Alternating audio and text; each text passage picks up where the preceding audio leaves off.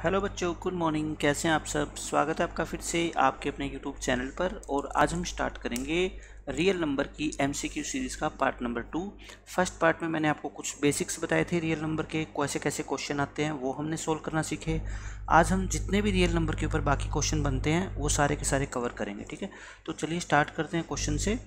इसमें क्या कहता है if P and Q are two consecutive natural numbers then the H C F of P and Q is मैं पहले आपको कॉन्सेप्ट बताता हूँ कि क्या होता है। कंजुगेटिव नंबर्स क्या होते हैं? कंजुगेटिव नंबर्स के बारे में पहले हम पढ़ते हैं। कंजुगेटिव नंबर्स कंजुगेटिव का मतलब हिंदी में होता है लगातार। लगातार। और हिंदी मीडियम वाले स्टूडेंट्स के लिए इसका मतलब होता है कर्मागत। जो हिंदी में लिखाएगा आपका, वो कर्मागत वर्ड लिखाएगा, ठीक है? कर्मागत संख्याएँ। कंजुगेटिव का मतलब होता है, जैसे हम बात करें कंजुगेटिव नेचुरल नंबर्स की तो वो कौन से होंगे? One two three four five six consecutive का मतलब ये होता है कि इन दोनों के बीच में कोई नेचुरल नंबर नहीं आना चाहिए। टू और थ्री के बीच में कोई नेचुरल नंबर नहीं आना चाहिए। तो ये क्या होते हैं हमारे कंजुगेटिव नेचुरल नंबर्स होते हैं? अब अगर हम बात करें, मान लो आपके पेपर में आज कंजुगेटिव इवन नंबर्स की बात करें तो कंजुगेटिव इवन नंबर्स कौन कौन से होंगे? ये देखो, इनकी सीरीज़ होगी आपकी टू फिर फोर फिर सिक्स फिर एट फिर टेन यानी कि सबके बीच में दो दो का गैप होएगा। कंजुगेटिव इवन नंबर्स का मतलब होता है, इन दो नंबर्स के बीच में कोई इवन नंबर नहीं आना चाहिए। नंबर तो आ सकता है three but it is not even ठीक है? वो ओड है इवन नहीं आना चाहिए। इसी तरह से अब आप समझ गए होगे, अगर कंजुगेटिव ओड नंबर्स की हम बात करें कंजुगेटिव ओड नंबर्स की तो वो कौन से होंगे आपके? One three five seven nine ये हमारे क्या होते हैं? कंजुगेटिव ओड नंबर्स होते हैं। अब आपसे क्वेश्चन में क्या पूछा गया है? कि P और Q कोई दो कंजुगेटिव नेचुरल नंबर है तो उनका एच शिफ्ट कितना होगा? आप देखो, कोई भी एग्ज़ाम्पल ले लो आप। कंजुगेटिव नेचुरल नंबर का आपका जो मन करे ना, वो एग्ज़ाम्पल ले लो। मान लो मैंने एक को क्या मान लिया? टू एक को क्या मान लिया? थ्री अब आप मेरे को बता दो, इनका एच शिफ्ट कितना होगा? टू और थ्री का। टू और थ्री में कोई भी फैक्टर कॉमन नहीं है वन के अलावा। तो इनका एच शिफ्ट कितना है हमेशा? वन आप सोचोगे कि टू और थ्री के अलावा कोई और हम एग्ज़ाम्पल ले लेते हैं।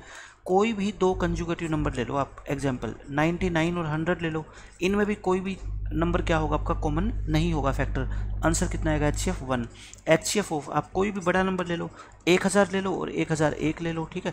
इनका भी एच सी एफ़ कितना होगा? वन तो मैं आपको यही बताना चाह रहा हूँ, कोई भी दो कंजुगेटिव आप नंबर लोगे ना, उसमें कभी भी कॉमन फैक्टर होता ही नहीं है। चाहे आप कितना भी छोटा और कितना भी बड़ा पेयर ले लो एच सी एफ़ हमेशा उनका कितना होगा? वन होगा, ठीक है? तो आप ये बात ध्यान रखना कि एच सी एफ़ ऑफ़ मैं यहाँ पे लिख देता हूँ result H of two consecutive natural numbers अगर दो कंजुगेटिव नेचुरल नंबर्स आ जाए, उनका हमेशा एच सी एफ़ कितना होता है? वन होता है, ठीक है? ये बात है। एच सी एफ़ होता है, उनका वन अच्छा अब एच सी एफ़ के साथ साथ मैं आपको एल्शियम भी बता देता हूँ। इनका एल्शियम कितना होगा? LCM of two consecutive natural number क्योंकि एग्जामिनर का थोड़े पता है कि वो हमारे से एच पूछेगा या एल्शियम तो जब एचसीएफ का कॉन्सेप्ट है तो साथ साथ में आपको एल्शियम का भी सीखना चाहिए। देखो, आप कोई भी एग्ज़ाम्पल ले लो। मान लो मैं कहता हूँ, आपसे एल्शियम बताओ, मेरे को टू और थ्री का। अगर आपको पता है कि दोनों के अंदर कोई कॉमन फैक्टर है ही नहीं तो उनका जो एल्शियम होगा, वो कितना होगा? इन दोनों की मल्टीप्लाई होगा। इन दोनों की क्या होगा मल्टीप्लिकेशन आप आपसे पूछे एल्शियम बताओ 99 का और 100 का। आपको सोचना नहीं है। आपको बस सीधा देखना है कि ये दोनों कंजुगेटिव नेचुरल नंबर है तो उनका एल्शियम कितना होगा? 99 नाइन इंटू हंड्रेड, यानी कि 9900 तो इस तरीके से आप सोच लो, दो कंजुगेटिव नेचुरल नंबर है, मान लो ए और बी उनका अगर आपको निकालना पड़ जाए क्या? एल्शियम तो दोनों की क्या कर देना? आप मल्टीप्लाई कर देना, यानी कि आंसर कितना आएगा आपका? ए बी तो ध्यान रखना है F of two consecutive numbers is always one and LCM of two consecutive natural numbers is always the product of these two numbers तो ये बहुत इंपॉर्टेंट कॉन्सेप्ट है दोनों के दोनों एफ़ का भी और एल्शियम का भी। अब क्वेश्चन देख लो, अब क्या पूछा है? पी और क्यू कंजुगेटिव नेचुरल नंबर है। आपसे एच सी एफ़ पूछा है। मैंने अभी बताया, दो कंजुगेटिव नेचुरल नंबर का एच सी एफ़ कितना होता है? हमेशा आपका वन होता है, ठीक है? अब देखो नेक्स्ट क्वेश्चन इसमें ये कहता है a a rational number can be expressed as a terminating decimal if the denominator has factor मैंने आपको लास्ट लेक्चर में बताया था कि कोई भी रैशनल नंबर हो, उसकी डेसिमल एक्सपेंशन टर्मिनेटिंग होगी या नहीं होगी, ये किस बात पे डिपेंड करता है? अगर उसके डिनोमिनेटर के अंदर या तो क्या हो आपका टू और या क्या हो फाइव हो, या ये दोनों हो। यानी कि टू और फाइव के अलावा कुछ भी नहीं होना चाहिए। तो वो क्या होगी? टर्मिनेटिंग होगी। तो इसका आंसर क्या आ जाएगा आपका? टू और फाइव। बस यही तो है कि टर्मिनेटिंग कब होगी? तो आप कहोगे, या तो टू हो डिनोमिनेटर में, या फिर कितना हो, फाइव हो। तभी ये टर्मिनेटिंग होगी। तो सीधा कंसेप्ट के ऊपर बेस्ड क्वेश्चन है ये। ये मैंने अभी आपको बताया था कि पी और क्यू दो कोई क्या है? प्राइम नंबर है। देखो, ये भी अच्छा क्वेश्चन है। तो कोई भी प्राइम नंबर है पी और क्यू तो उनका एल्शियम कितना होगा? आप जैसे ऐसा ऐसा क्वेश्चन कभी भी आपको एग्ज़ाम में मिले ना, और कोई नया क्वेश्चन भी आए तो मैं आपको सोचने का तरीका बता देता हूँ कि कैसे सोचोगे आप उस क्वेश्चन के बारे में। आपको ये कह रखा है कि पी और Q any two prime numbers any two prime numbers का मतलब होता है, आपका जो मन करे वो प्राइम नंबर मान लो, ठीक है? मैं मान लेता हूँ, P कोई प्राइम नंबर है, वो किसके इक्वल है? टू के, और Q कोई प्राइम नंबर है, कितना है? थ्री के। ये दो प्राइम नंबर है। आप मेरे को यहीं से बता दो, इनका एल्शियम कितना होगा? यानी कि टू और थ्री का एल्शियम। दोनों प्राइम नंबर है। इसका मतलब दोनों के अंदर कोई भी फैक्टर कॉमन नहीं होगा। और मैंने अभी आपको बताया था लास्ट पेज पे, अगर दो नंबर के बीच में कोई फैक्टर कॉमन ना हो तो उनका एल्शियम क्या होता है बताओ? उन दोनों नंबर्स की प्रोडक्ट के इक्वल होता है। आप कोई भी प्राइम नंबर मान लो, एक मान लो आप 11 और एक मान लो आप 17 ठीक है? इन दोनों में कोई कॉमन फैक्टर तो है ही नहीं, ठीक है? तो आपका जो एल्शियम आएगा वो कितना आएगा? 11 इंटू में 17 यानी कि 187 ऐसे आप कोई भी प्राइम नंबर मानोगे ना, आपका यही होने वाला है एल्शियम। एक मान लो आपका प्राइम नंबर है 97 और एक आपका प्राइम नंबर है मान लो 101 तो इनका एल्शियम कितना आएगा? 97 सेवन इंटू में 101 इस तरीके से ये कॉन्सेप्ट होता है। कोई दो प्राइम नंबर है, उनका जो एल्शियम होगा, वो उन दोनों नंबर्स की मल्टीप्लिकेशन होगा। तो यहाँ पे पी और क्यू का एल्शियम कितना होगा बताओ मेरे को? LCM of P and Q वो किसके इक्वल होगा? पी क्यू के इक्वल होगा। तो मैं आपको यही बताना चाहता हूँ इन दोनों नंबर्स की मल्टीप्लिकेशन के इक्वल होगा ये। अब यहाँ पे देखो क्या कहता है। Which of the following is not an irrational number मैंने आपको लास्ट लेक्चर में भी बताया था कि जहाँ पे भी आपको स्क्वेयर रूट का सिंबल दिख जाए, आप ये मत कहना कि ये एक इरेशनल नंबर है, ठीक है? ऐसा नहीं होता। आपको बताना है कि इनमें से कौन सा इरेशनल नंबर नहीं है। ये तो पक्का इरेशनल है, क्योंकि ये रैशनल है, ये इरेशनल दो रैशनल नंबर का मतलब एक आपको क्या दे रखा है? डिफरेंस दे रखा है। जिसमें से एक रैशनल है, एक क्या है? इरेशनल है। तो ये तो क्या है? आपका इरेशनल है, ठीक है? और आपसे पूछा है नोट इरेशनल ये भी क्या है आपका इरेशनल है, क्योंकि रूट फाइव और रूट थ्री को आप ऐड नहीं कर सकते, ठीक है? ये क्या है आपका इरेशनल है, क्योंकि रूट टू क्या है आपका इरेशनल है, लेकिन ये जो है ना, ये इरेशनल नहीं है, क्योंकि फाइव प्लस में रूट नाइन और रूट नाइन को तो मेरे को पता है, मैं थ्री लिख सकता हूँ तो फाइव प्लस थ्री कितना हो गया? एट ये आपका रैशनल है means it is not irrational number आपसे पूछा है, कौन सा इरेशनल नहीं है तो डी ऑप्शन आपका क्या होगा? करेक्ट तो बहुत ध्यान से करना है, ठीक है? ये ना हो कि आपने पूरी साल मेहनत करी और फिर पेपर में एक सिली मिस्टेक के कारण आपका मार्क्स कट जाए तो आपको अच्छे से क्वेश्चन को समझना है और फिर आपको उसका आंसर टिक करना है। यहाँ पे देखो क्या कहता है, ये बिल्कुल बेसिक प्रॉपर्टी के ऊपर बेस्ड क्वेश्चन है। The H C F and L C M of A and B A और बी दो नंबर है, ये उनका एच सी एफ़ है, ये उनका एल सी एम है, ठीक है? मैं लिख के दिखा देता हूँ पूरा। एच सी एफ़ कितना है आपका? नाइनटीन। और एल्शियम आपका कितना है? वन हंड्रेड फिफ्टी टू आपको दोनों में से एक नंबर दे रखा है ए, कितना? थर्टी एट तो आपको बी निकालना है। तो मैंने क्या फॉर्मूला बताया आपको कि दो नंबर की प्रोडक्ट वो किसके इक्वल होती है? उनके एच सी एफ़ और एल्शियम की प्रोडक्ट के इक्वल होती है। ए की वैल्यू कितनी है बता दो? थर्टी एट बी की वैल्यू आपसे पूछी है। एच सी एफ़ कितना है? नाइनटीन एल्शियम कितना है? वन फिफ्टी टू तो ये थर्टी एट कहाँ चला जाएगा? नीचे चला जाएगा। थर्टी एट को आप नीचे भेजोगे तो ये कट जाएगा। नाइनटीन टू जा और ये 76 पे कट जाएगा। तो बी की वैल्यू कितनी आ गई? 76 यानी कि आपको दो नंबर का एचसीएफ भी दे रखा है एल्शियम भी दे रखा है, उनमें से एक नंबर आपको दे रखा है, आपको दूसरा नंबर निकालना है। पेपर में थोड़ा इतना लिखोगे आप, ये तो सब्जेक्टिव के लिए लिखोगे। ऑब्जेक्टिव अगर आए तो हमें पता है एचसीएफ और एल्शियम की मल्टीप्लाई ये है। यही इन दोनों नंबर की मल्टीप्लाई होगी। तो दूसरा नंबर निकालना हो तो एक नंबर से क्या कर दो डिवाइड कर दो, दूसरा नंबर आ जाएगा आपका, ठीक है? एग्ज़ाम में तो आप इस तरह से सोल्व करके देखोगे। लेकिन मैं आपको बता रहा हूँ कि अगर मान लो क्वेश्चन ये सब्जेक्टिव में आएगा आपके तो आपको ऐसे करना पड़ेगा, ठीक है ना? ये है। यहाँ देखो, ऐसे ऐसे क्वेश्चन बहुत आते हैं, आपकी टेक्स्ट बुक का क्वेश्चन है ये। इसके अंदर कहता है, ये जो नंबर है ना, ये कैसा है? कंपोजिट है प्राइम है नीदर कंपोजिट नोर प्राइम या नन ऑफ़ दीज इस तरह से। अच्छा आप ये बात ध्यान रख लो, ऐसा नंबर जो ना तो प्राइम हो और ना ही क्या हो कंपोजिट हो, वो कौन सा होता है? सिर्फ़ वन होता है, ठीक है? क्योंकि मैंने आपको बताया हुआ है कि प्राइम नंबर कहाँ से स्टार्ट होते हैं? टू से स्टार्ट होते हैं।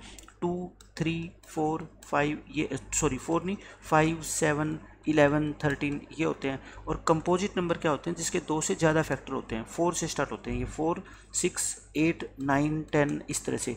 तो वन जो बच गया ना वन ये क्या होता है? ना तो कंपोजिट होता और ना ही क्या होता? है ये प्राइम होता। तो क्वेश्चन में आपसे पूछ ले कि ऐसा कौन सा नंबर है जो ना कंपोजिट ना प्राइम तो कौन सा होता है? वन तो इसका मतलब ये ऑप्शन तो इसका हो ही नहीं सकता, ठीक है? अब आप मेरे को बताओ, इस नंबर को अगर हम सोल्व करें seven into eleven into thirteen into fifteen और पूरे के साथ में प्लस कितना है? फिफ्टीन है। आप ये बताओ मेरे को, ये पूरा एक ही तो नंबर है, क्योंकि हम इनकी सभी की क्या कर सकते हैं? मल्टीप्लाई कर सकते हैं ना? मल्टीप्लाई करके ये पूरा एक नंबर बच जाएगा और एक नंबर ये बच जाएगा।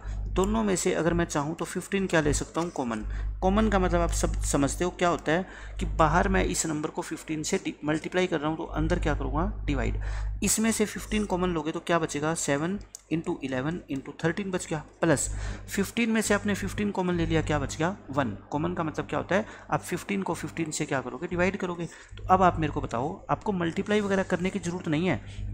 देखो, ये जो आंसर आएगा, आपका जो भी आएगा, वो एक नंबर ही आएगा। वैसे आप करके देखोगे मल्टीप्लाई तो आपका कितना आएगा? देखो तेरह गुना में ग्यारह होता है, एक सौ तिरतालीस और एक सौ तिरतालीस को आप सात से गुना करो। ये आपका कितना आएगा? सात या इक्कीस और ये एक हज़ार एक। मैंने आपको बता रखा है, एक हज़ार एक एक स्पेशल नंबर होता है, जिसकी मल्टीप्लाई क्या होती है? Seven into eleven into thirteen आपको पेपर में आगे करने की ज़रूरत नहीं है, लेकिन मैं आपको बता रहा हूँ कि ये क्या आएगा? एक हज़ार एक प्लस में एक, यानी एक हज़ार दो। अब आप मेरे को बता दो, जब ये फिफ्टीन को ही आप थ्री इंटू फाइव लिख सकते हो तो ये नंबर प्राइम कैसे हो सकता है? ये पूरा नंबर है, ठीक है? ये नंबर मैं कहता हूँ थ्री से भी डिवाइड होएगा फाइव से भी डिवाइड होएगा, दो से भी डिवाइड होएगा तो प्राइम नंबर तो हो ही नहीं सकता ये। जिसके दो से ज़्यादा फैक्टर हो गए वो नंबर हमेशा क्या बनेगा आपका? कंपोजिट बनेगा, ठीक है? मैं इसका कंसेप्ट बता देता हूँ क्या होता है। कन्फ्यूज़ होने की आपको ज़रूरत नहीं है, देखो, ऐसे होता है ये। मान लो आपको कितना भी बड़ा मैंने नंबर दे दिया three four five six seven eight nine और प्लस में कह दिया मैंने नाइन बताओ, ये नंबर कैसा है? ये नंबर हमेशा ही क्या होगा? कंपोजिट होगा। आप सोचोगे कंपोजिट क्यों होगा? मैं कहता हूँ, इसमें से नाइन कॉमन ले लो ना, क्योंकि नाइन इसमें भी है और इसमें भी है। तो यहाँ से क्या बचेगा इन सब की multiplication three into four into five into six into seven into eight और प्लस में क्या बच गया? वन आप ये बताओ नाइन है अगर बाहर तो ये थ्री इंटू थ्री लिख सकते हैं। और ये भी तो एक पूरा नंबर आएगा ना? ये क्या आएगा? एक पूरा नंबर आएगा एक। तो बताओ, ये जितना भी नंबर आएगा, वो थ्री से भी डिवाइड हो रहा है और इस खुद से भी डिवाइड हो रहा है। तो जो नंबर खुद के अलावा किसी और नंबर से डिवाइड हो गया तो वो तो प्राइम हो ही नहीं सकता। प्राइम तो क्या होता है? जो या तो खुद से डिवाइड होगा या फिर वन से डिवाइड होगा, इसके अलावा नहीं होगा।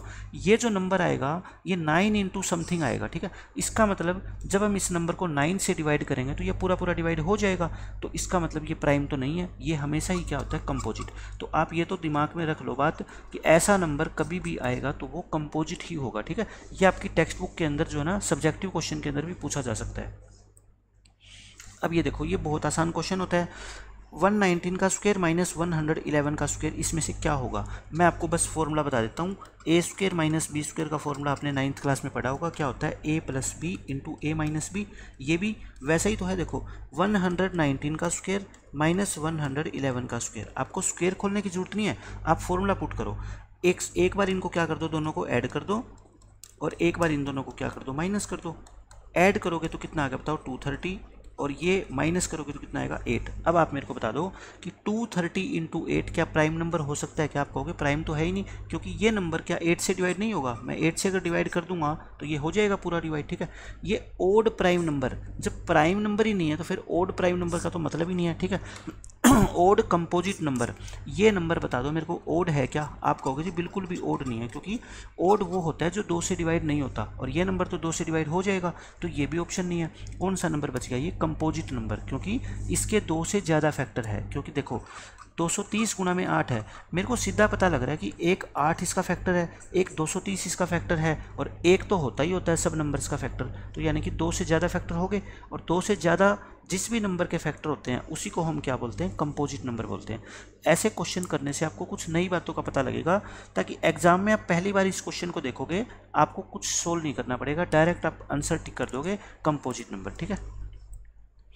अब ये देखो क्या होता है, इनका, इस क्वेश्चन में पूछा गया है the H C F of these three numbers तीन नंबर का आपको एच सी एफ़ निकालना है, लेकिन ये नंबर आपको क्या है? बड़े दिखाई दे रहे हैं। यानी कि आपको इतने बड़े दिखाई दे रहे हैं कि आप आसानी से इन नंबर्स के बारे में सोच नहीं पाओगे। लेकिन फिर भी मैं आपको ये कहता हूँ, देखो, इनका एच सी एफ़ आपको ऐसे निकालना आना चाहिए फाइव सिक्सटी सेवन मैं एक और मेथड बताऊँगा। पहले मैं बेसिक तरीका बता रहा हूँ। देखो, जिस बच्चे को मैंने आपको बता रखा है, बार बार मैं एक ही चीज़ बताता हूँ। पच्चीस तक के स्क्वेयर आपको याद होने चाहिए। और जिस बच्चे को पच्चीस तक के स्क्वेयर याद है, उसको पता है इक्कीस का स्क्वेयर कितना होता है? चार सौ इकतालीस होता है। होता है चार सौ इकतालीस। अब अगर चार सौ इकतालीस इक्कीस का स्क्वेयर है तो मतलब ये होता है इक्कीस गुना में इक्कीस। यानी कि ये सेवन से क्या होगा? आपका डिवाइड होगा। तो ये सेवन से डिवाइड होता है तो मैं एक बार हिंट ले लेता हूँ कि सेवन से डिवाइड क्या बाकी भी हो रहे हैं क्या? इसको सेवन से डिवाइड करो। सेवन सिक्स जा सेवन थ्री जा। ये सेवन से देखो, हो रहा है सेवन एट जा सेवन वन जा। ये सेवन से हो रहा है सेवन नाइन जा और फिर सेवन नाइन जा अब देखो, मैंने हिंट लिया तो सेवन से क्या हो गया? ये डिवाइड क्यों मेरे को पता लग गया? क्योंकि मेरे को ये दिखते ही पता लग गया कि ये तो 21 का स्क्वायर होता है। और 21 अगर आ गया किसी नंबर में तो वो 7 से क्या होगा? डिवाइड तो मैंने इसको 7 से डिवाइड कर दिया। अब मेरे लिए क्वेश्चन हो गया आसान। अब मुझे दिखाई दे रहा है कि ये 3 से भी डिवाइड हो रहे हैं सारे नंबर ये कितना हो गया आपका? 21 ये 27 और ये 30 थ्री अब फिर से थ्री से डिवाइड हो रहे हैं ये। थ्री से डिवाइड करोगे, ये सेवन पे, ये नाइन पे और ये इलेवन पे। अब कोई भी नंबर ऐसा नहीं है जो इन तीनों को डिवाइड कर दे। तो इसका मतलब एच कितना हो गया हमारा? Seven into three into three यानी कि 63 और ये इस क्वेश्चन का क्या है आंसर है? तो देखो, ये इंपॉर्टेंस होती है, जो चीज़ मैं आपको बताता हूँ बार बार कि आपको टेबल याद होनी चाहिए 25 तक और 25 तक आपको स्क्वेयर याद होने चाहिए। जिस बच्चे को स्क्वेयर याद है अच्छे से, वो तुरंत देखते ही बता देगा कि ये नंबर सात से क्या होगा डिवाइड होगा, ठीक है?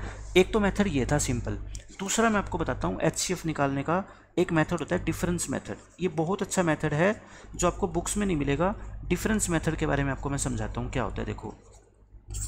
एक मान लो नंबर है, मैंने कह दिया कि ट्वेल्व एक नंबर मान लो है कितना? ट्वेल्व एक नंबर है, इससे अगला मान लो एटीन और एक नंबर है ट्वेंटी फोर मैं कहता हूँ, इन नंबर का अगर आपको एचसीएफ निकालना हो तो आप डायरेक्ट कैसे बताओगे? देखो ट्वेल्व और एट में डिफरेंस कितने का है? सिक्स का। एटीन और इसमें भी डिफरेंस कितने का है? सिक्स का। अगर ये दोनों डिफरेंस सेम हो, अगर ये दोनों डिफरेंस क्या हो? सेम हो तो आपका जो एचसीएफ होगा ना, वो कितना होगा? सिक्स होगा। आप डायरेक्ट आंसर बता देना कितना सिक्स लेकिन एक रिस्क होता है इसके अंदर सिर्फ़। अगर पहले वाला नंबर ही सिक्स से डिवाइड ना हो, तब एच सी एफ़ सिक्स कैसे हो जाएगा? आप कहोगे कि एच सी एफ़ का मतलब तो ये होता है कि ये सिक्स इन तीनों को डिवाइड करेगा और ऐसा बड़े से बड़ा नंबर है। लेकिन तब क्या होगा? जब सिक्स जो है ना, पहले वाले नंबर को डिवाइड नहीं करेगा, तब इनका एच सी एफ़ कितना होगा? आपका वन होगा, ठीक है? जैसे मान लो, मैं आपको एग्ज़ाम्पल देता हूँ। यहाँ पे फाइव आ जाए।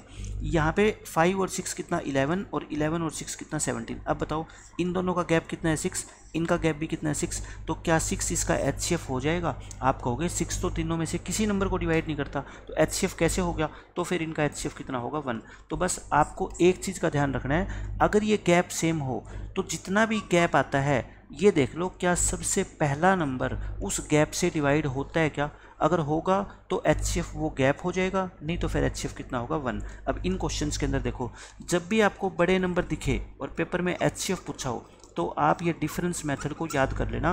100 परसेंट इसी के ऊपर बेस्ड क्वेश्चन पूछा जाएगा। इन दोनों में कितना डिफरेंस है बताओ? डिफरेंस का मेरा मतलब होता है, बड़े नंबर में से छोटा नंबर क्या कर दो? आप माइनस कर दो, ठीक है? बड़े में से छोटा माइनस करोगे, देखो 567 अब और इसमें से ये माइनस करोगे। तो आपका कितना आएगा ये? ये आपका आंसर आ जाएगा सिक्स और ये कितना आएगा आपका टू और ये कितना आएगा वन यानी कि वन ट्वेंटी सिक्स का आ गया। और इनमें भी गैप कितने का है, देख लो। इनमें गैप आपका आएगा सिक्सटी सेवन और ये आपका आएगा सेवन सिक्स नाइन्टी थ्री में से फाइव सिक्सटी सेवन घटाओगे ये भी वन ट्वेंटी सिक्स का।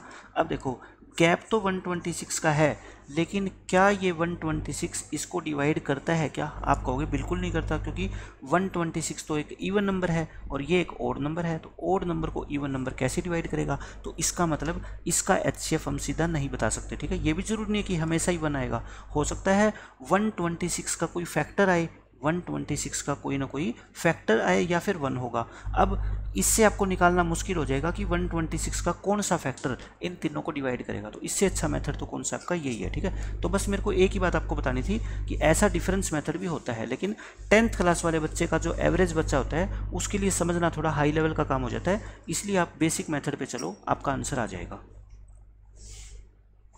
इसमें देखो क्या कहता है if N square minus one N square minus one एक कोई भी नंबर हो सकता है। मतलब आप एन की वैल्यू जैसे वन पुट कर दो टू पुट कर दो, ये कुछ भी नंबर आएगा निकल के। और वो कहता है एट से डिवाइड होगा।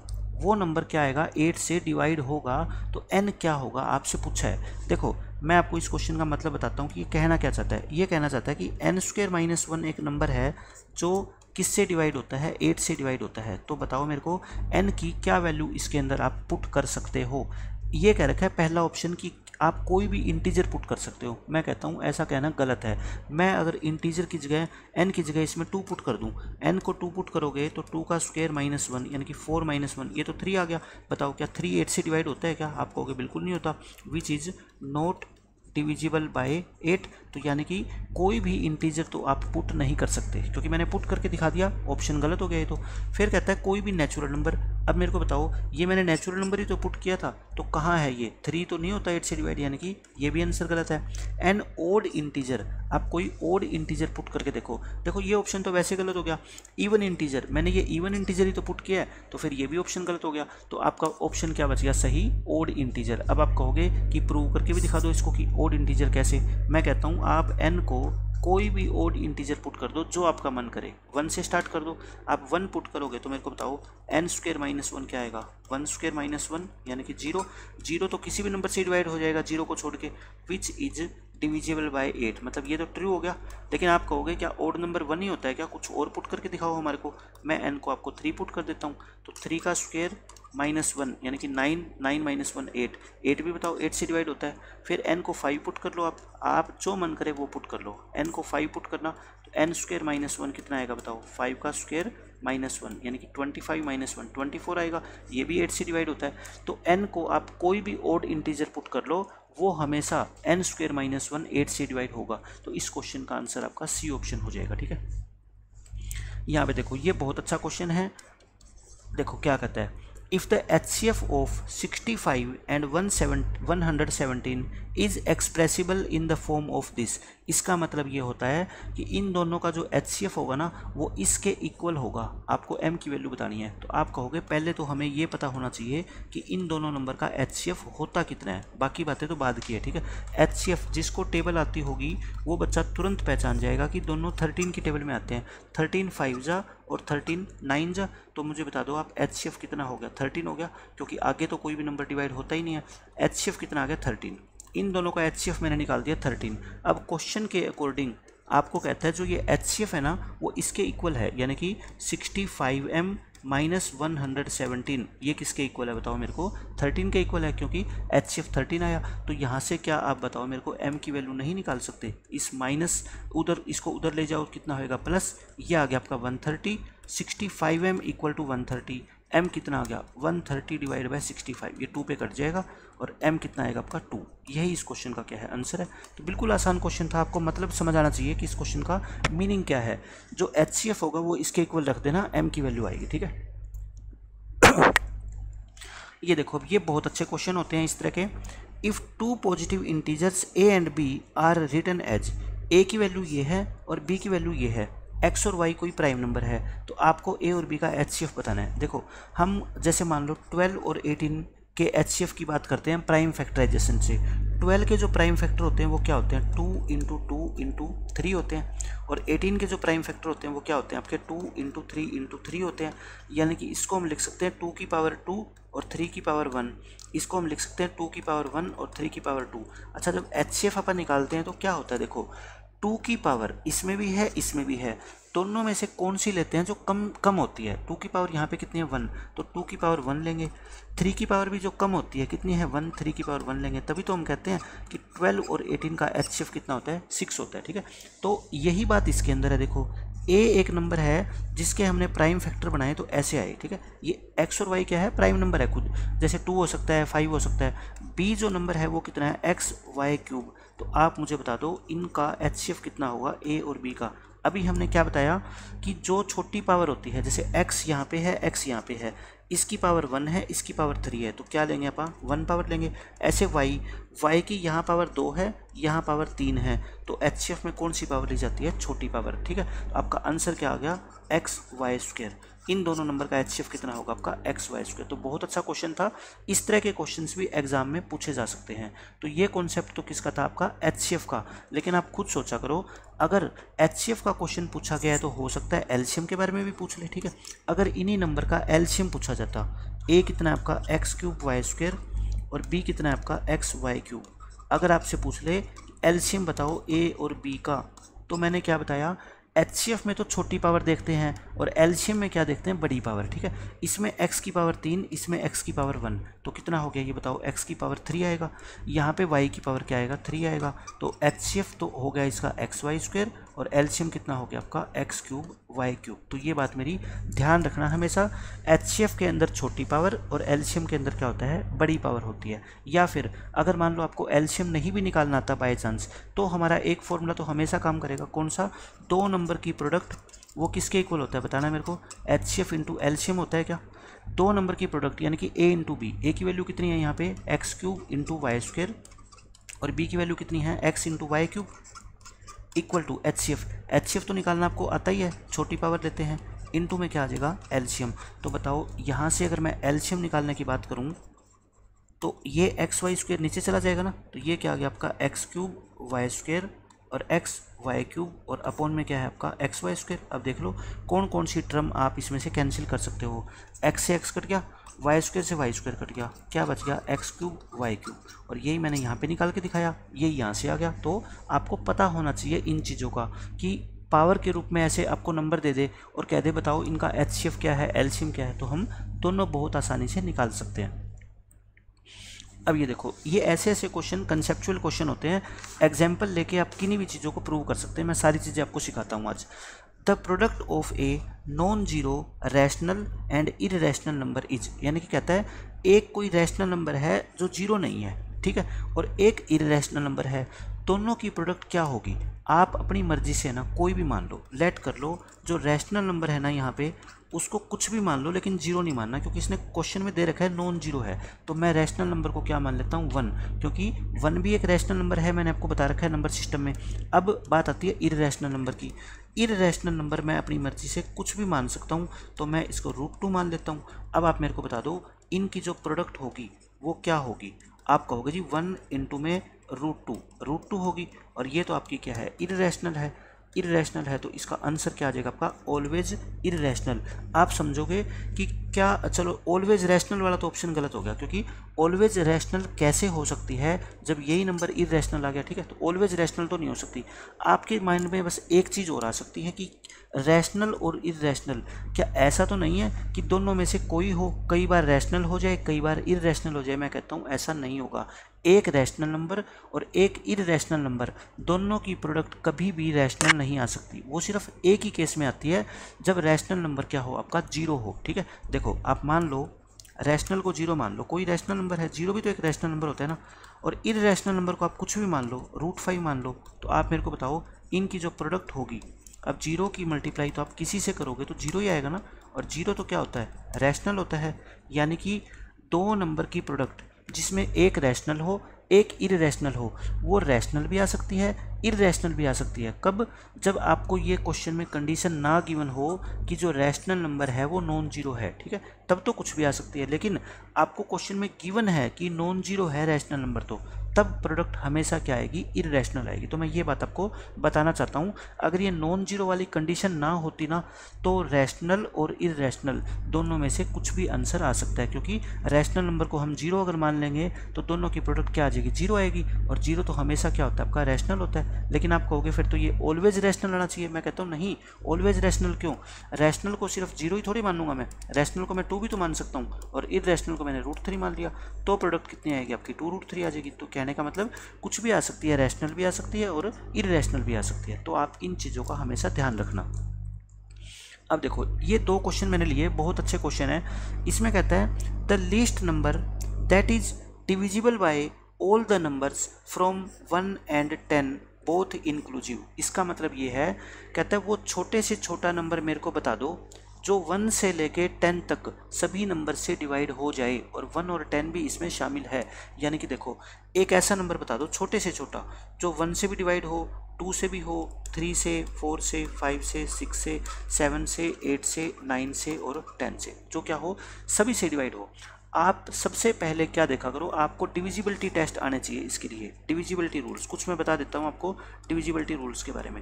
क्योंकि जिस बच्चे को ये रूल्स पता होगा, वो तुरंत ही इसका आंसर बता देगा, देखते ही। डिविजिबिलिटी रूल्स ये कहता है कि कोई नंबर टू से डिवाइड होगा या नहीं होगा, आप देखते ही बता सकते हो, ठीक है? टू का डिविजिबिलिटी रूल क्या होता है बताओ?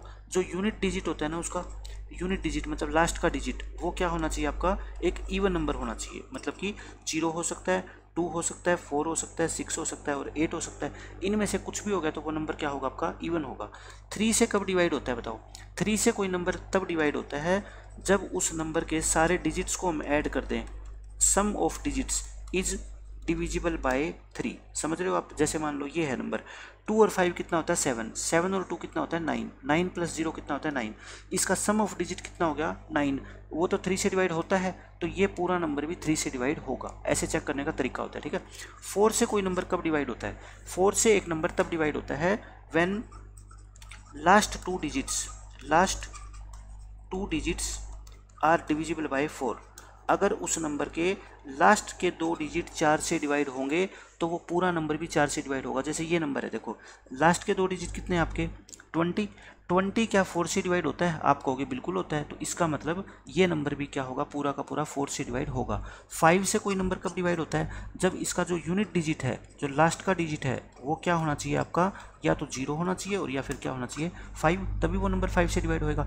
सिक्स से कोई नंबर कब डिवाइड होता है? सिक्स से कोई नंबर डिवाइड तब होता है जब वो टू से भी हो और थ्री से भी हो। और टू से कोई नंबर डिवाइड होगा, उस वो भी हम पढ़ चुके हैं थ्री का भी हम पढ़ चुके हैं, ठीक है? सेवन का आपके टेंथ क्लास के बच्चे के लेवल के हिसाब से बहुत बड़ा हो जाएगा रूल इसलिए सेवन का डिविजिबिलिटी टेस्ट आप मत सीखो। आप एक नंबर को सीधा सेवन से डिवाइड ही करके देख लेना। अगर वो होता है डिवाइड तो सेवन से डिवाइड कहलाएगा अदरवाइज़ नहीं कहलाएगा, ठीक है? एट का डिविजिबिलिटी रूल क्या होता है? देखो टू का डिविजिबिलिटी रूल होता है कि लास्ट का डिजिट टू से डिवाइड होना चाहिए फोर में लास्ट के दो डिजिट होने चाहिए एट में क्या होगा? लास्ट के तीन डिजिट होने चाहिए। अगर लास्ट के तीन digit last three digits last three digits are divisible by eight अगर किसी नंबर के सिर्फ़ लास्ट लास्ट के थ्री डिजिट आप देख लो वो एट से डिवाइड होते हैं ना तो वो पूरा नंबर भी क्या होगा? एट से डिवाइड होगा अदरवाइज़ नहीं। अब देखो, जैसे यही नंबर है। लास्ट के तीन डिजिट है, कितने? पाँच सौ बीस।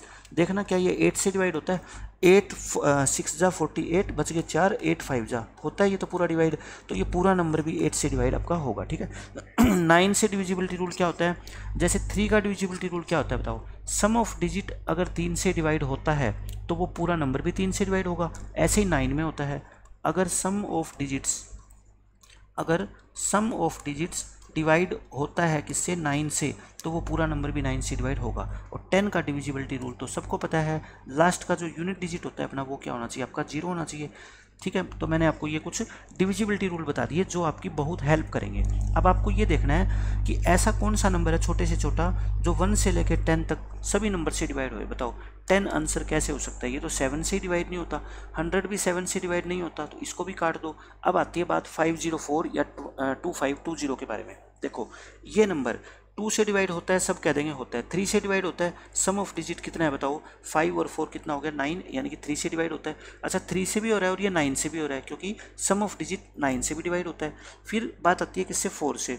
अच्छा ये देखो, ये फाइव से डिवाइड नहीं हो रहा। फाइव में तो क्या होता है लास्ट का डिजिट या ज़ीरो और या फिर फाइव ये तो देखो, नहीं हो रहा फाइव से डिवाइड मतलब ये आंसर गलत हो गया तो हमारा सही ऑप्शन क्या होगा, पच्चीस सौ बीस। ये पच्चीस सौ बीस ऐसा नंबर है जो सभी से डिवाइड हो जाएगा, एक से लेकर दस तक में, ठीक है? तो आप सीधा ही फाइव का डिविजिबिलिटी रूल देखो लास्ट का डिजिट ज़ीरो या फाइव होना ज़रूरी है, इसमें तो नहीं है तो इसका मतलब ये नंबर पाँच से डिवाइड नहीं होगा, आपका आंसर क्या आ जाएगा डी ऑप्शन आ जाएगा। तो मैंने आपको डिटेल के अंदर सारी चीज़ें बता दी कि कैसे आप इसको चेक करोगे, ठीक है? ये तो अब सीखने के लिए है एग्ज़ाम में तो ये सारी बातें आपके दिमाग में होनी चाहिए, ताकि आप तुरंत अप्लाई कर दो और क्वेश्चन का आंसर बता दो।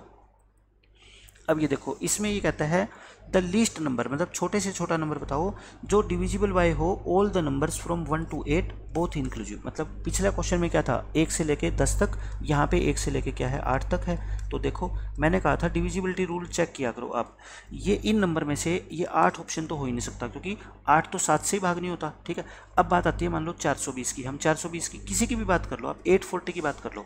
देखो एट फोर्टी वन से भी होता है टू से भी होता है थ्री से भी होता है फोर से भी होता है फाइव से भी होता है। क्या सिक्स से होता है क्या? सिक्स से भी होता है क्योंकि टू से और थ्री से दोनों होता है। क्या सेवन से होता है क्या? सेवन की टेबल में एट्टी फोर आता है। एट्टी फोर को सेवन से करोगे ट्वेल्व सेवन से भी होगा क्या एट से होता है? एट से भी होता है ये। क्या नाइन से होता है? नाइन से नहीं होता क्योंकि तीनों डिजिट का जो सम है वो कितना होता है? ट्वेल्व ट्वेल्व तो नाइन की टेबल में नहीं आता तो मतलब ये भी अपना ऑप्शन नहीं हो सकता।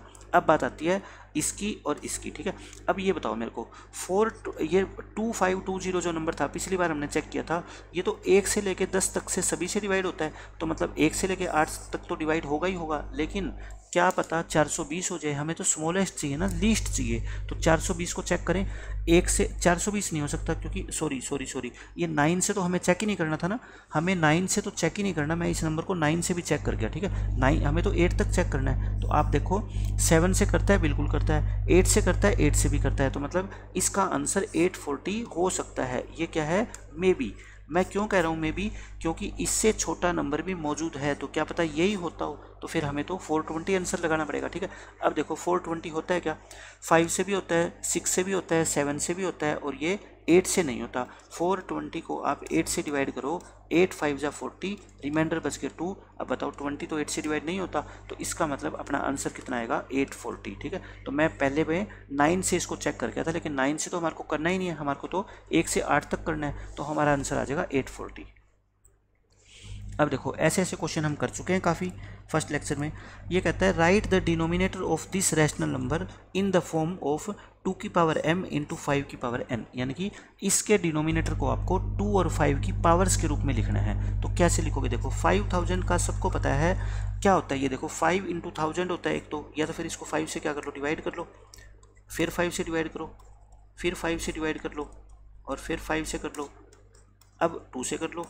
टू, फोर और ये टू और कितना आएगा टू? यानी कि फाइव थाउज़ेंड को हम क्या लिख सकते हैं बताओ? फाइव की पावर कितनी है? एक, दो, तीन, चार और टू की पावर कितनी है? थ्री ये लिख दिया हमने फाइव थाउज़ेंड को। तो ये जो डेसिमल नंबर है two fifty seven divide by five thousand it can be written as 257 को तो 257 डिनोमिनेटर को हम क्या लिख सकते हैं? 5 की पावर 4 इंटू टू की पावर 3 ये हमारा क्या आ गया? आंसर आ गया, ठीक है? अब ये कहता है where M N N are non negative integer ये तो हमने कर दिया। Hence writes it decimal expansion without actual division कहता है, बिना डिवाइड करे इसकी डेसिमल एक्सपेंशन लिखो। मैंने आपको प्रीवियस लेक्चर में क्या बताया था कि अगर डेसिमल एक्सपेंशन टर्मिनेटिंग है तो मैं उस एक्सपेंशन को आसानी से लिख सकता हूँ। देखो कैसे लिखोगे? 257 अपॉन फाइव की पावर फोर और टू की पावर थ्री। आप मेरे को बता दो, किसकी कमी है? आप कहोगे एक टू की कमी है। अगर टू एक और आ जाए और एक ऊपर कर दो तो बात बन जाएगी। देखो, ऊपर कितना आएगा आपका? फोर्टीन और ये वन, फाइव हंड्रेड फोर्टीन। और नीचे देखो, फाइव की पावर भी कितनी होगी? फोर और टू की पावर भी कितनी होगी? फोर। तो आंसर नीचे कितना आएगा बताओ?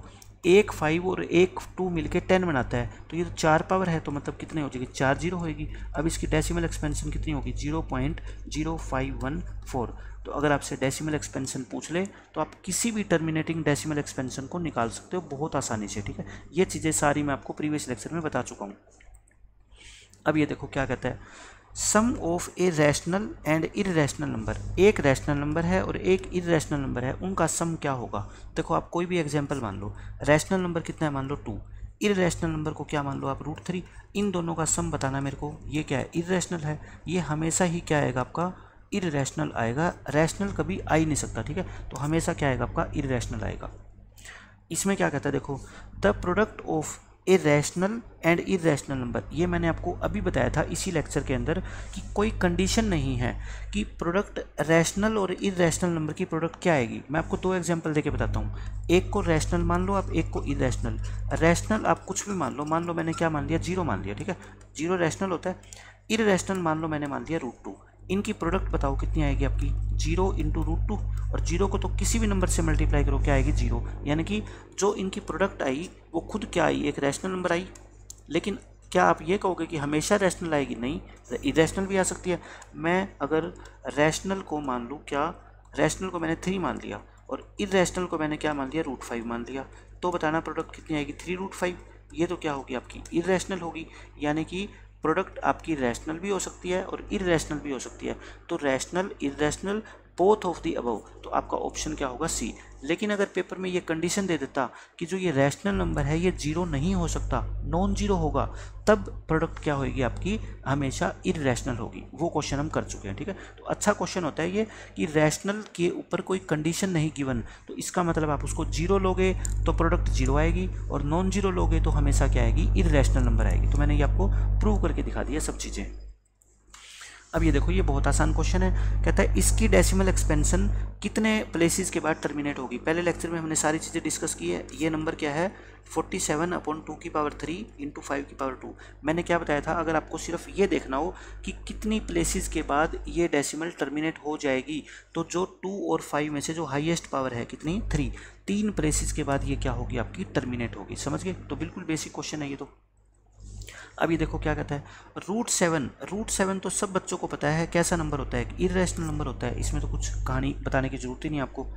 इनका एचसीएफ आप मेरे को बता दो, क्या कोई ऐसा नंबर है क्या जो इन तीनों को डिवाइड करता है? आप कहते हैं कोई नंबर नहीं है तो जिनका कोई भी कॉमन फैक्टर नहीं होता, उनका एचसीएफ कितना होता है? आपका वन होता है। भाई आप ट्वेंटी फाइव को लो ही मत एट और नाइन को ही देख लो एट और नाइन का एचसीएफ कितना होता है? वन तो फिर बाकी ट्वेंटी फाइव को इंक्लूड करोगे तब भी तो क्या आएगा? वन ही आएगा आपका।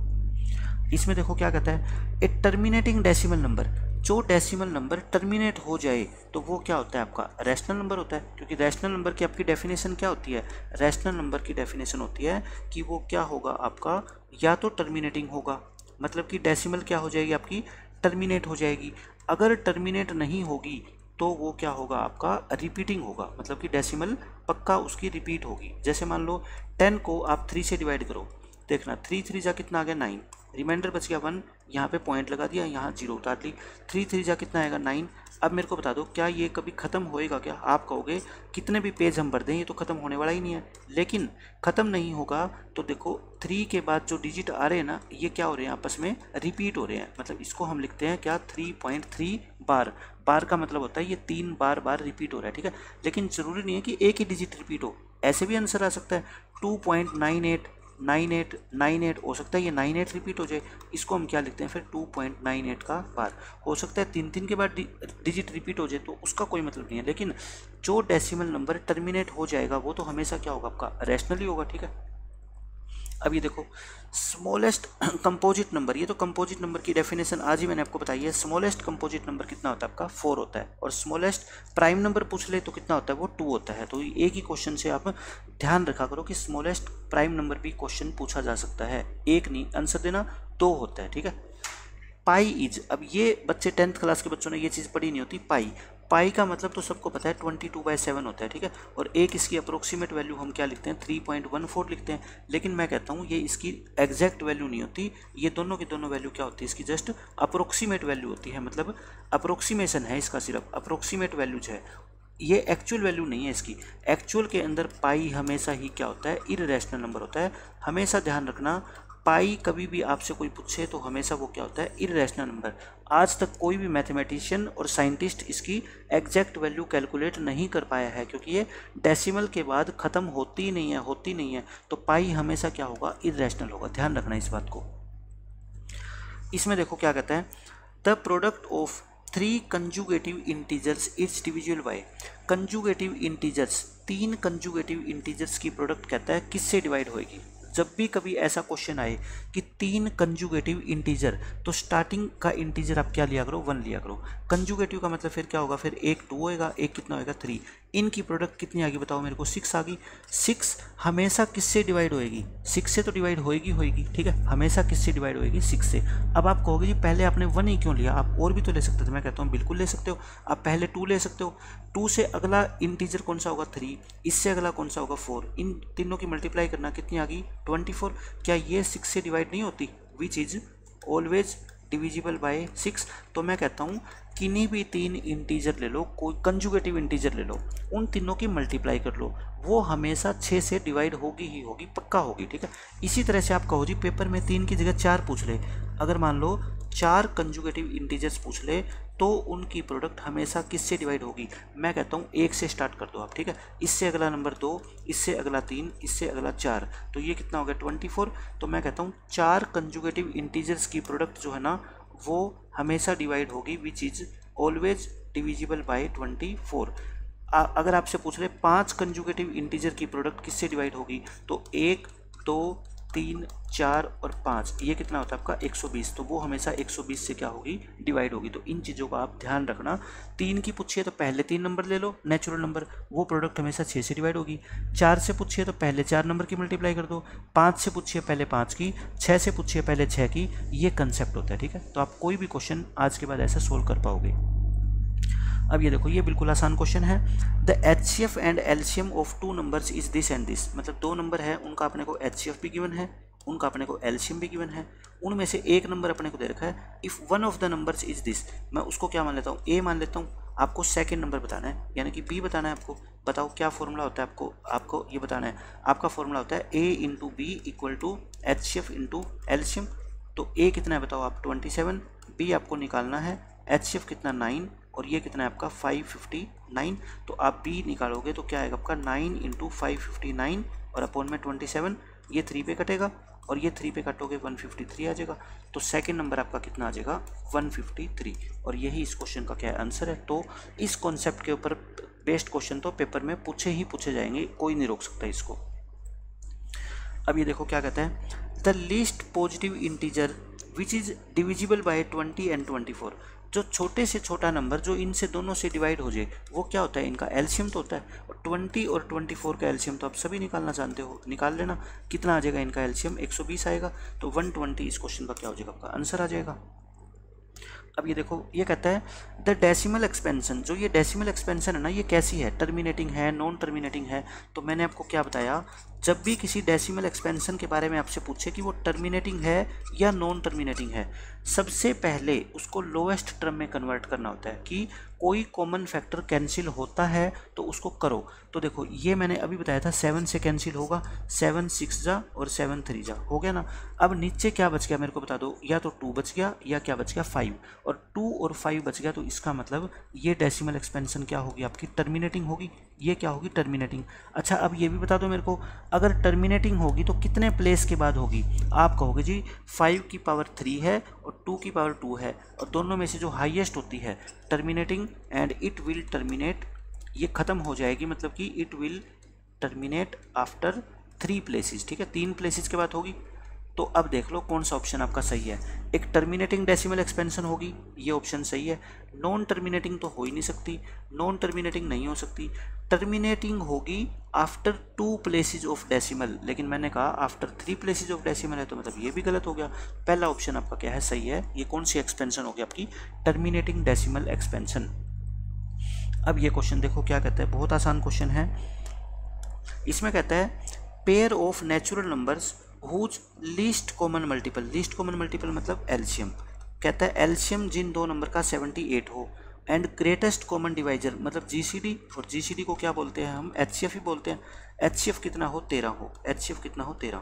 आपको कहता है ऐसा, ऐसे नंबर बताओ जिन की एल्शियम 78 हो और H C F seventy three हो। मैंने आपको क्या बताया था कि दो नंबर की जो प्रोडक्ट होगी ना, वो इनके एच और एल्शियम के इक्वल होगी। मतलब कि 78 एट इंटू थर्टीन के इक्वल आनी चाहिए। तो आप देखो, क्या ये पेयर हो सकता है क्या? आप कहोगे जी, इन दोनों नंबर की प्रोडक्ट अगर आप 58 की 13 से मल्टीप्लाई करोगे तो क्या वो 78 एट इंटू थर्टीन आ जाएगी क्या? मैं कहता हूँ 13 तो है ही इसमें तो ये 78 है और ये 58 है तो कैसे आ जाएगी? मतलब ए ऑप्शन तो वैसे ही रिजेक्ट हो गया।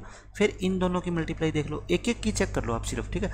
68 और 23 की मल्टीप्लाई क्या 78 और 13 आ सकती है? मैं कहता हूँ, कभी भी नहीं आ सकती, क्योंकि ट्वेंटी थ्री क्या होता है, एक प्राइम नंबर होता है, ठीक है? और इसके अंदर ट्वेंटी थ्री मौजूद है ही नहीं तो इसका मतलब ये भी क्या आएगी? इक्वल नहीं आएगी।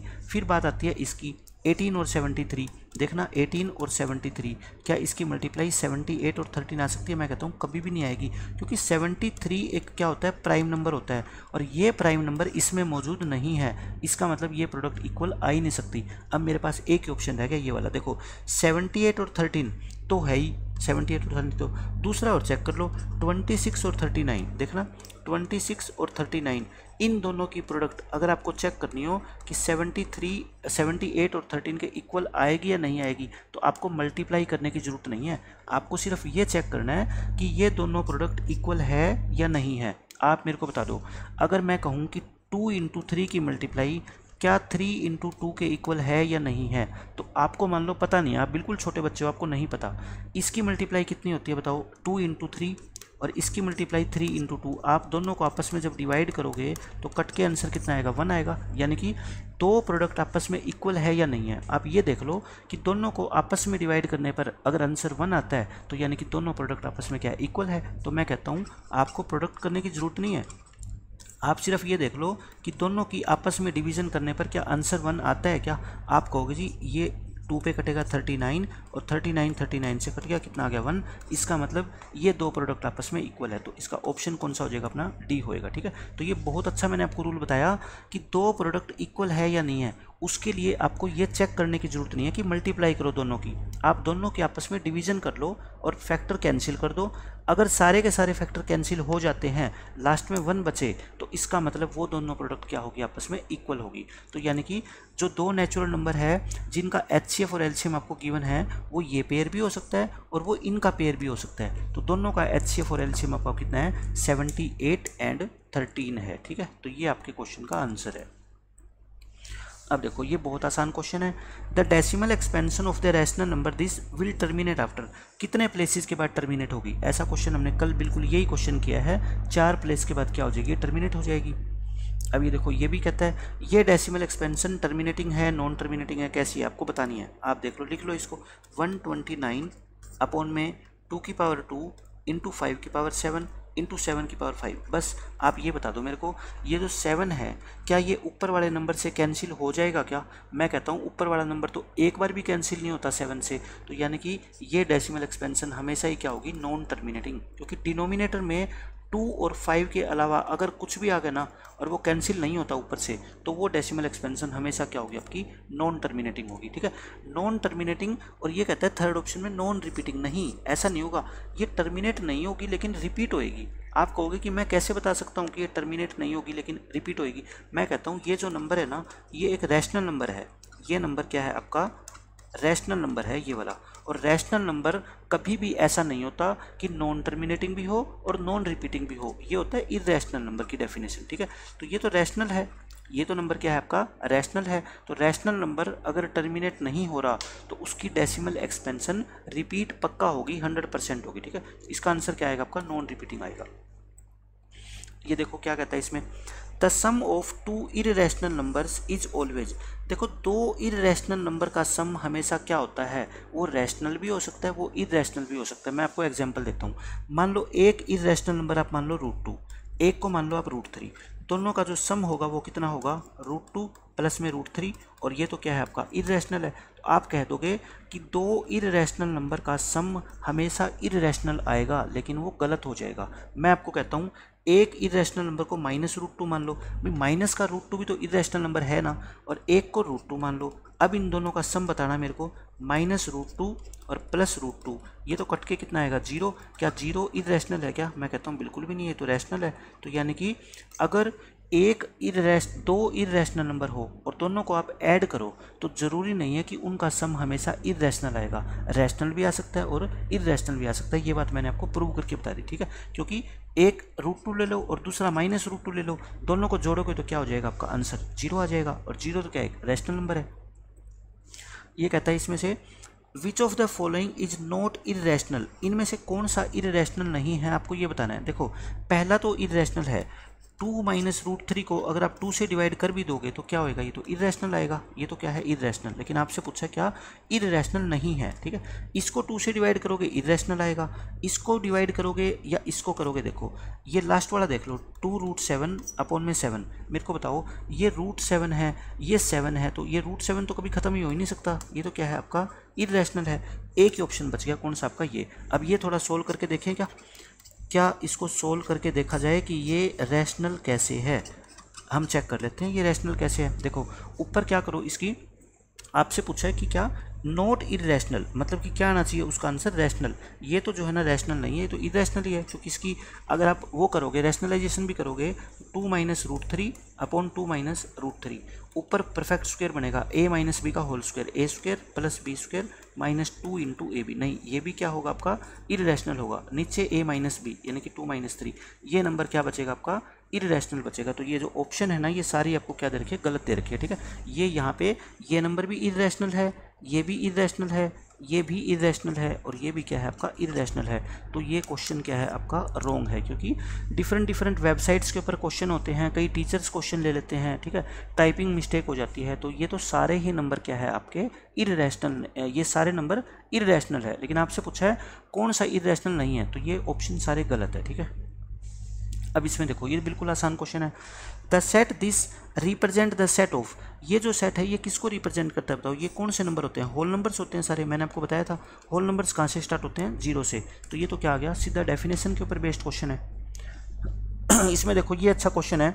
इसमें कहता है there are three hundred twelve two sixty and one fifty six students in class tenth eleventh and twelfth तीन क्लासों में इतने इतने बच्चे हैं और वो बस के अंदर बैठ के जाएँगे तीनों क्लास के बच्चे। अब ये कहता है find the maximum number of students who can sit in a bus if each bus takes equal number of student यानी कि एक बस में मैक्सिमम कितने बच्चे बैठ सकते हैं?